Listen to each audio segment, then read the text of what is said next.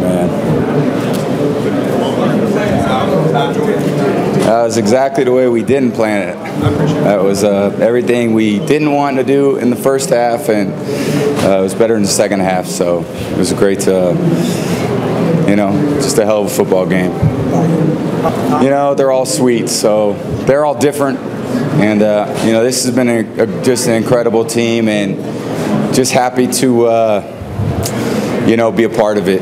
It's just a great group of coaches and uh, and teammates, and overcame a lot of different things, and uh, it's all worth it.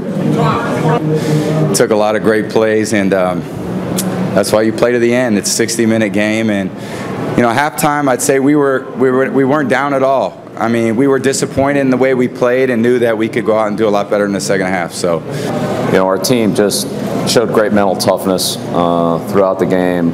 Just never, never really flinched, even though the score was uh, so against us uh, for so long. But they just kept plugging away, just kept fighting, just kept trying to make plays, and uh, you know, fortunately, we were able to make enough at the end there to you know to get it back to a a two-score game uh, at 16 points, and then uh, you know the touchdowns and the two-point conversions.